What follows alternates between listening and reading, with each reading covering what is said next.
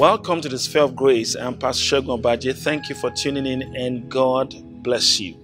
Today we're looking at giving attention to the Word. It is important that you give attention to the Word because the Word of God is the hope of the Christian, the hope of the Christian life. Now, everything that will happen in your life will happen as a result of the Word of God at work in you. You see, revelation knowledge from God's word is the wheel of progress. That means that is what it takes to make progress in life. So your life is all about the word. You were born of the word of God in Christ. First Peter 1 and verse 23 tells us, being born again of the incorruptible seed of God's word that lives and abides forever.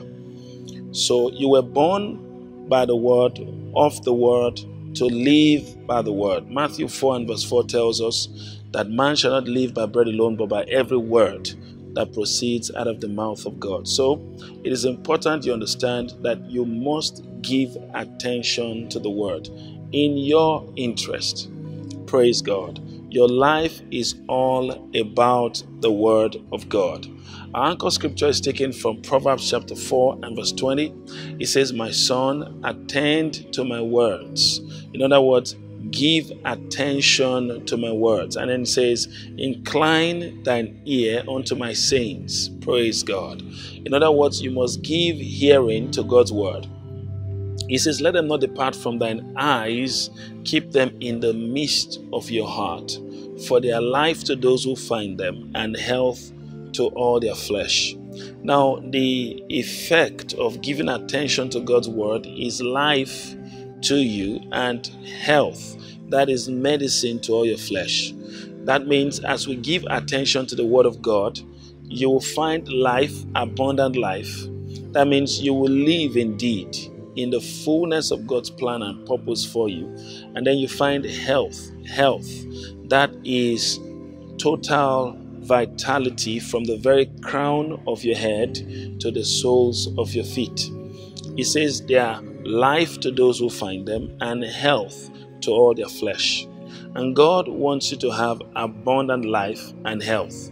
The reason Jesus came, praise God, He says the thief comes to, to steal, to kill, and to destroy, but I am come that you may have life and that you may have it more abundantly. God has designed abundant life for you. Abundant life, abundant vitality, abundant health, abundant prosperity, abundant of every abundance of every good thing that God has prepared for you in Christ.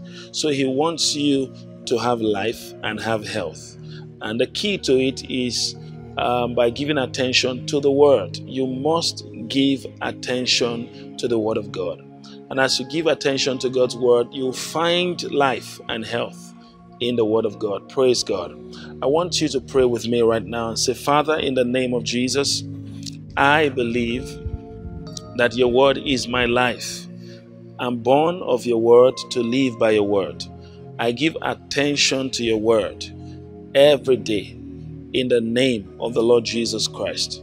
I meditate on your word daily and I live according to your word daily in the name of Jesus Christ. Amen. Praise God.